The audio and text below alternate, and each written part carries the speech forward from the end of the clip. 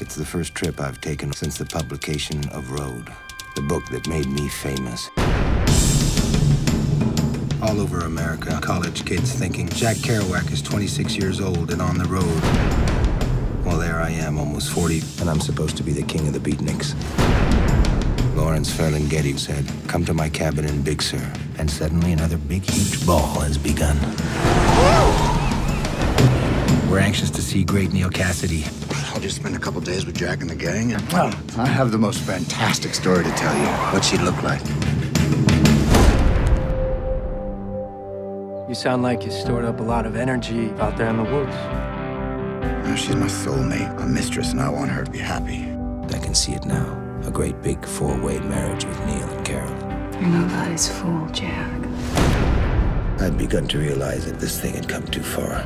Neal has got to learn to control the forces that run inside of him. You got me all wrong. I wouldn't be any good for you. Why can't you follow through with what your heart knows is good and best and true? I love you.